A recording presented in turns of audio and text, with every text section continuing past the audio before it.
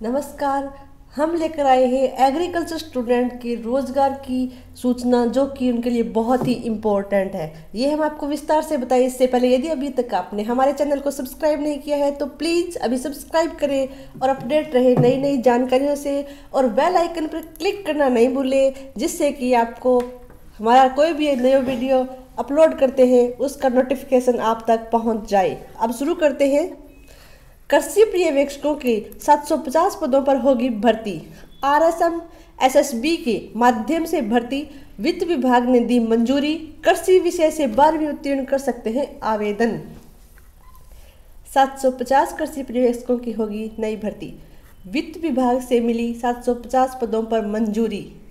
कृषि विभाग ने 1507 पदों पर भेजी थी स्वीकृति की अर्थना संभवतः दिसंबर के मध्य शुरू हो सकती है भर्ती प्रक्रिया।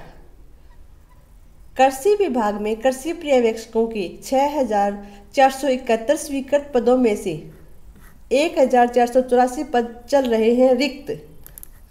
ये थी कृषि पर्यवेक्षकों की भर्ती से संबंधित सूचना।